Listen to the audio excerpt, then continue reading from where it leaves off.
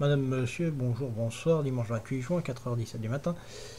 Et quoi de mieux après une journée éreintante après avoir suivi comme un bœuf que de faire quelques calculs mentaux pour bien se reposer la tête? Alors, déjà vous arrivez sur cette magnifique feuille de calcul, vous allez me dire, mais qu'est-ce qui nous fait encore notre Clément? Je vais vous expliquer, c'est relativement simple. Alors d'abord, un des avantages qui peut être très judicieux, c'est que cette feuille de calcul, non seulement elle fonctionne à peu près comme les feuilles de calcul classiques des tableurs Excel et LibreOffice, mais en plus vous pouvez aussi l'exporter vers ces logiciels. C'est toujours ça de gagner. Alors, l'autre point positif, c'est que là vous voyez la sélection, je suis sur Extrude, c'est-à-dire sur cet engrenage. Je veux le volume. Pas de souci. Il suffit que je rentre cette formule. Et j'ai le volume en millimètres cubes. Encore une fois. C'est possible. Bon, maintenant imaginons vous voulez pas celle de ce celle de, ce, de, ce, de cet engrenage, mais vous voulez celle du cylindre. Alors le cylindre ici, il est particulier puisqu'il s'agit en réalité d'un extrait de ce que représenterait une bobine de filament complètement déroulée. Voilà.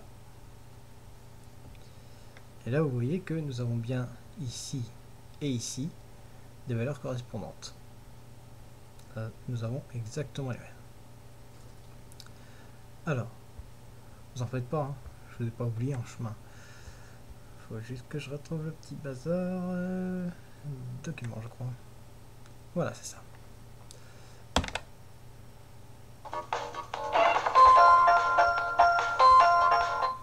Hop.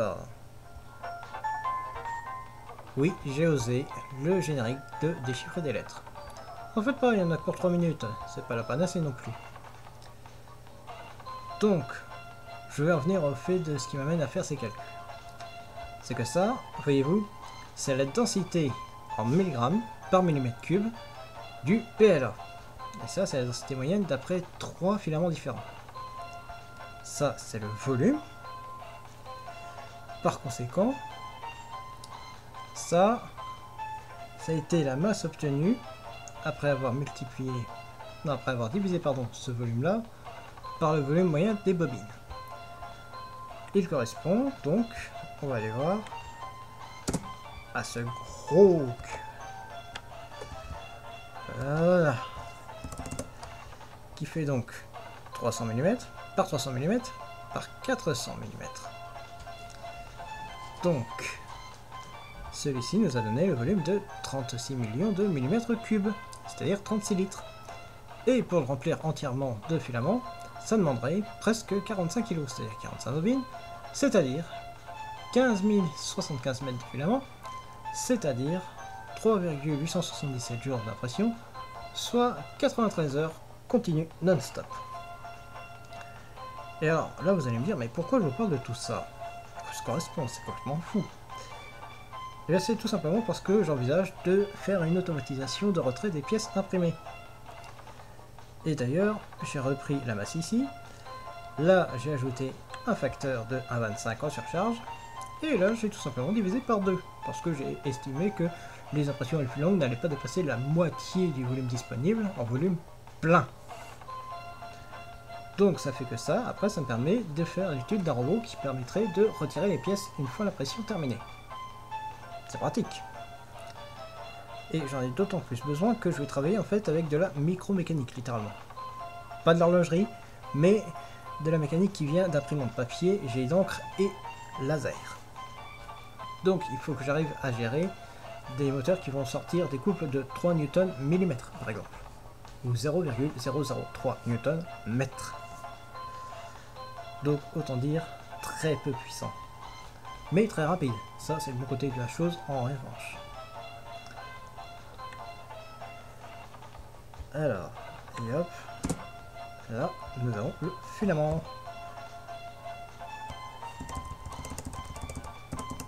Hop. Là, pour vous dire, on est sur un terrain qui fait 659 mètres, comme on peut le lire, par 1 km de haut.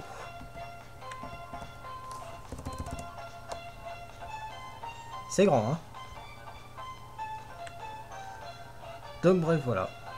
Donc nous avons tous ces, tous ces éléments-là. Et nous avons déjà passé les 3 minutes. Oui, ça va vite. Donc pour vous détailler un petit peu le bazar, ici on a le rayon de notre cylindre qui est donc là, qui représente donc notre filament, son rayon mis au carré, et multiplié par pi, et son volume multiplié par la hauteur. Et vous voyez bien que ici, j'ai exactement la même valeur que avec cette forme, cette, euh, cette formulation plus exactement. À ceci près que du coup ici, j'ai bien l'unité que je n'ai pas là.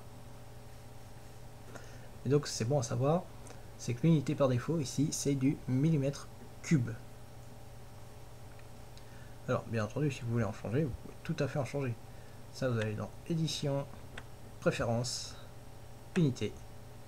Et vous pouvez passer du coup système US, aux impériales, construction euro, US, pièce métrique CNC, impérial civil. Hop. Et ça, on le laisse. Ah oui, j'ai oublié de vous préciser aussi du coup, le petit champ en dessous. Ça, le nombre de décimales, c'est-à-dire le nombre de chiffres après le virgule. C'est-à-dire que si ici, par exemple, je baisse à 2, pouf, il n'y a plus que deux chiffres après le virgule qui apparaissent. Intéressant à savoir. Donc du coup, voilà, c'était une courte petite vidéo, parce que je voulais vous donner des nouvelles, hein, naturellement, surtout à 4h30 du matin, c'est là que c'est le plus intéressant. Et parce que donc, il euh, va y avoir l'étude de ça, parce que en fait, ce volume, j'ai oublié de vous le préciser, celui qu'on voit là, le tout petit point là, hop, on va grossir, mais ce qui est bien, c'est qu'on prend pas un gramme. Voilà, hop,